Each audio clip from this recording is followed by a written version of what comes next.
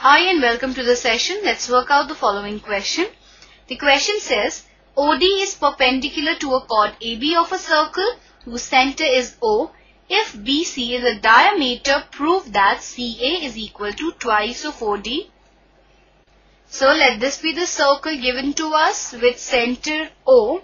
Now OD is perpendicular to the chord AB of this circle. BC is given to be the diameter. So let us start with a solution to this question. We have to prove that CA is equal to twice of OD. Now first of all, we join A to C and now we can start with the proof. Since OD is perpendicular to AB, therefore AD is equal to BD because we see that perpendicular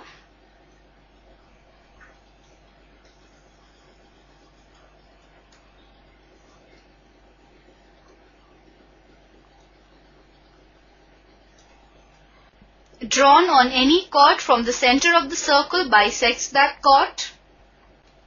It means that D is the midpoint of AB and OC is equal to OB because they are the radii. Therefore, O is the midpoint of BC.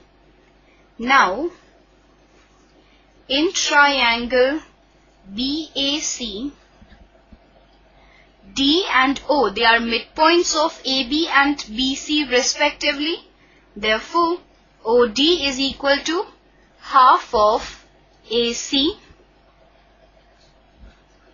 because line joining the midpoints of two sides of a triangle is parallel to the third side and equal to half of it. So we can say that AC is equal to twice of OD or we can say that CA is equal to twice of OD. So this is what we were supposed to prove in this question. I hope that you understood the solution and enjoyed the session. Have a good day.